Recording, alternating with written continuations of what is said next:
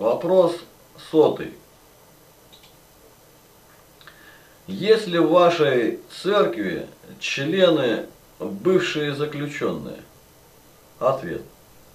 Есть. В первую очередь это я, заядлый каторжанин. Есть в Новосибирской общине, есть и условно осужденные со снятием судимости. Все. Но это у них было все до принятия в церковь, до знакомства с нами. Я знаю священников и епископов, которые принимают освободившихся зэков, кормят их и содержат при храме. Пока не знаю ни одного случая их перерождения из волка в овцу.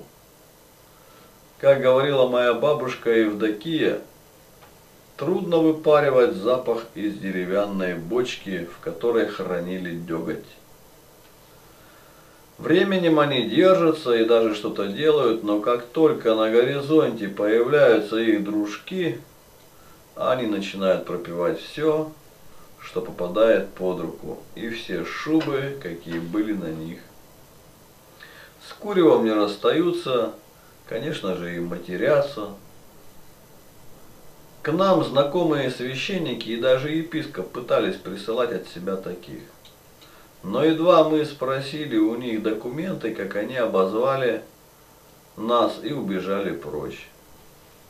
Садомитов даже и Бог не исправляет, а сжигает, как в шей в прожарке. Может быть, где-то и обращаются такие люди к Боге и перерождаются, но я не сподобился их видеть. Даже и те, что есть из моих знакомых, но они уже как порченые, дохлые какие-то, и гниль из них лезет и прорывается. Я сотрудничаю уже 12 лет с местной тюрьмой, но ни одного человека не подготовил к крещению, потому что ни один из них не бросает курить и материться. Они все страшные артисты и лжецы, привыкшие, привыкшие жить паразитами. Если внешне смотреть, то результат моей работы нулевой. Но нравы там смягчаются, и некоторые задумываются. Но не более того. Местный священник, нетрезвый, даже ходил туда несколько раз и крестил 724 человека. Конечно же, никто из них не возродился, не исправился. Все это обман. Вот я бы мог не говорить, что никто не обратился, столько лет работаю, 18 лет непрерывного труда, сотни, если не тысячи Евангелий, иконы, крестики, беседы, по радио выступаю, у них есть точки в камерах. И хорошие люди делаются, и приходят после освобождения, меня ищут, стараются как-то отблагодарить. Но чтобы обратился, стал христианином, при церкви работает. Вот, просто вижу все это. Но я бы мог скрыть и сказать, вот я работал и все. Я говорю, нет ни одного. 724. Один раз пришел священник, кто хотел, а ему лишь бы выдраться из камеры, обстановку измененную, пройти где-то. Пошел к женщинам, это намного страшнее женская, если колония где-то.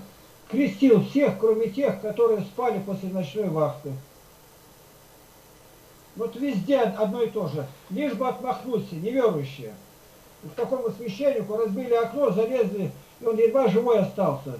Все из него вытащили. А адвентисты седьмого дня приветили.